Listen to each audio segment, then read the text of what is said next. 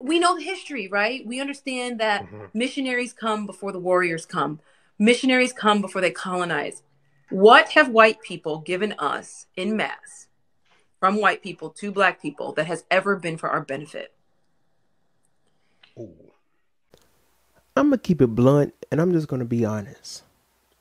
Sometimes I just feel that I'm too black to be Christian.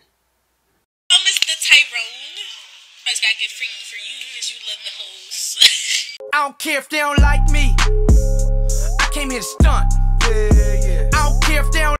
What's good everybody? If you're first time viewer of my content or this video, make sure you like the video and subscribe to my YouTube channel. So we're going to be watching this lovely lady and this other man and they're going to be talking about the basis of the conversation of religion and Christianity concerning black people. Alright? So without further ado, not going to waste any of your time. Let's get into it me and Dr. Ali, we were discussing like a couple weeks ago. We were on the phone, and Dr. Ali said something to me that has taken up space in my head, and I think it's going to be permanent there. What do you mean when you say I'm too black to be Christian? Basically, Christianity, come on, was given to us in an attempt. I got some roses for that. Thank y'all. we know the history, right? We understand that mm-hmm. missionaries come before the warriors come. Missionaries come before they colonize. What have white people given us in mass from white people to black people that has ever been for our benefit? Ooh. I will I will wait everything that they have given us in mass. I'm not going to say individual white people. This is not about each mm-hmm. individual. Obviously, there's white people who are amazing, wonderful, glorious, beautiful humans.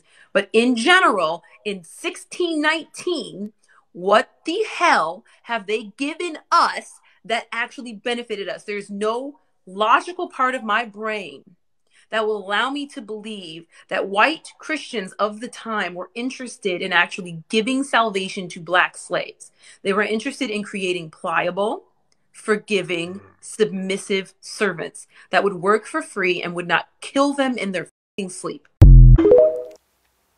God. Damn. And shout out to them. Make sure you follow them on all social media platforms. But she did not lie. I'm going to tell you a little story, right?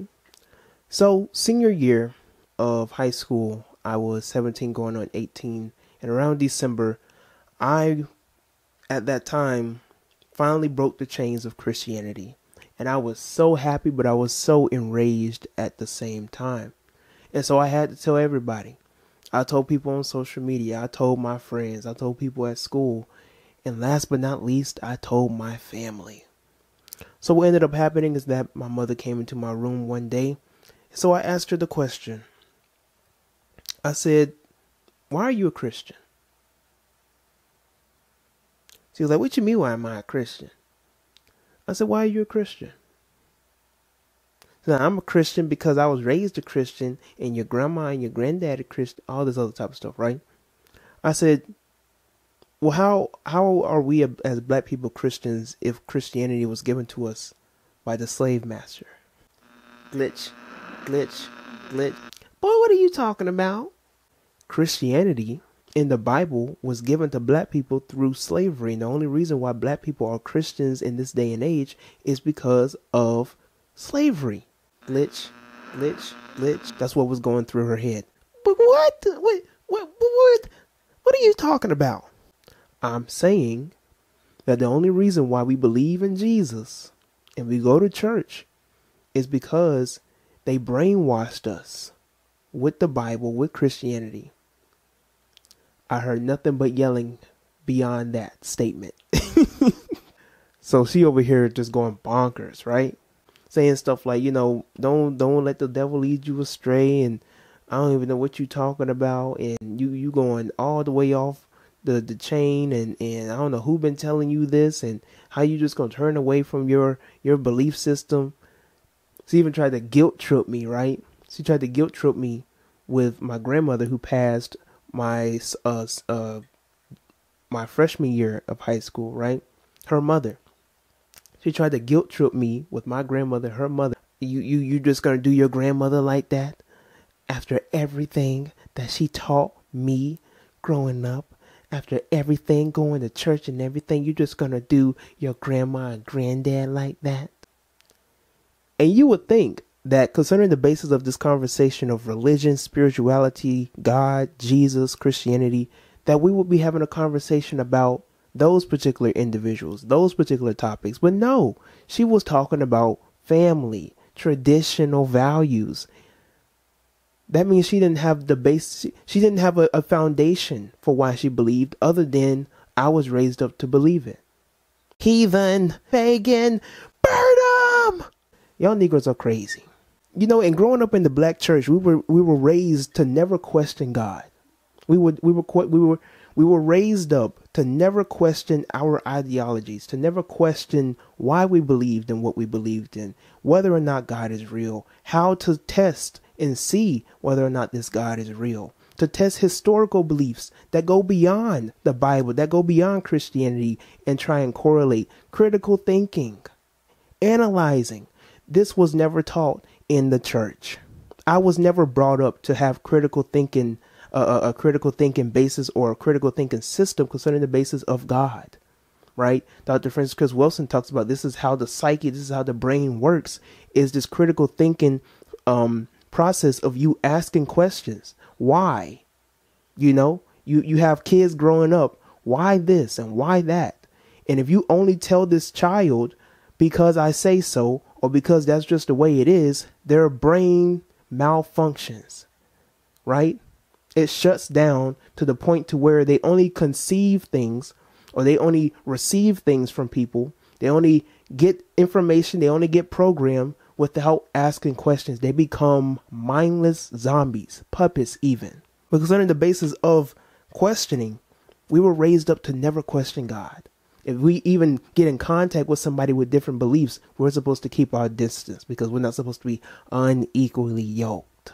Something comes up on the news, something comes up on the internet, something comes up on the television channel concerning the basis of questioning God's existence, we were taught to turn it off instead of hearing them out, instead of analyzing what they were saying, instead of studying and doing our own research, we turn it off, we close our, our ears, and we go the other way.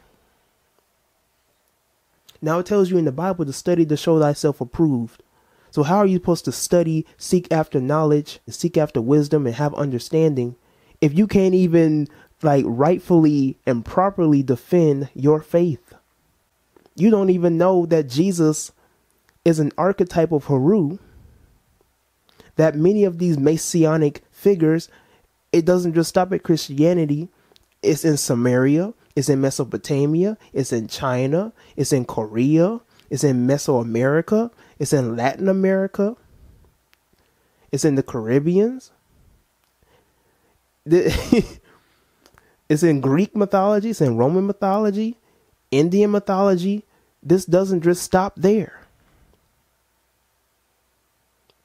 But because we've been taught to just be complacent with our beliefs, because we've been taught to be subservient to a certain entity and never question whether or not these things that we believed in were true, or whether or not the God that we even believed in was righteous.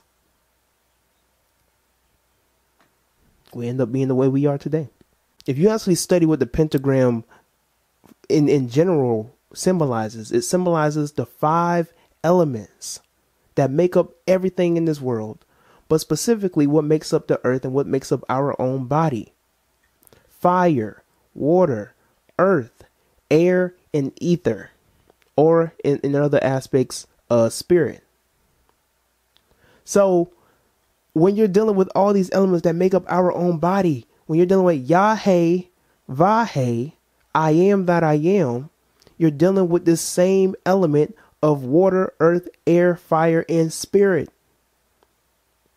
Yahweh, Vahe, I am that I am.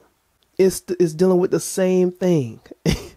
they just showed it and portrayed it in a symbol. And signs and symbols are for the conscious and subconscious mind.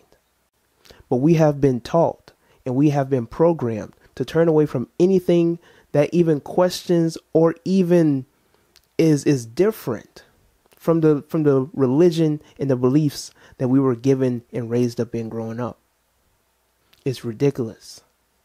And it's sad and disheartening that you have a lot of black people who will never understand this type of knowledge and information. Some people, they might dabble in the information, they might be a little curious, but then they get a little too steep. They slip up, they go running back to the church. They go running back to Jesus right? And so then you have these people who get a little too steep. They didn't go through the necessary process or the necessary pathway to get into where I am now. And you have these Negroes in my comment section. I used to be dressed like you. I used to study the spirituality. I was into the zodiacs. I was into the crystals, the tarot cards, everything until I met Jesus who changed my life forever. And I will never I said never be the same again. I swear I'm just a nobody.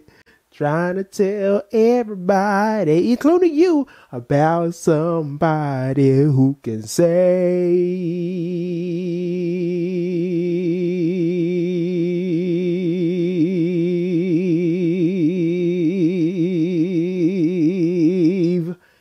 anybody.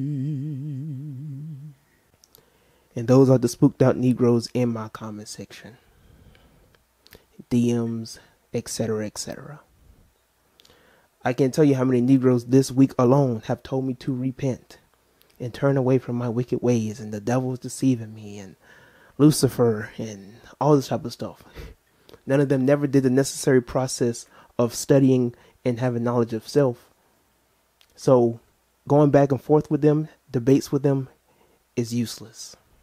But I don't want to waste any more of your time. Share your thoughts in the comment section below concerning the whole matters at hand. Share your personal process in the spiritual journey. And if you also have curiosities concerning the basis of anything outside of the dynamics of Christianity, like Satanism, Luciferianism, New Age spirituality, African spirituality, voodoo, all the type of stuff, Let's have a conversation about this respectfully in the comment section below. Don't forget to like the video, subscribe to my YouTube channel, share this video with other people, like I said in the beginning. And before you go, check out these other videos.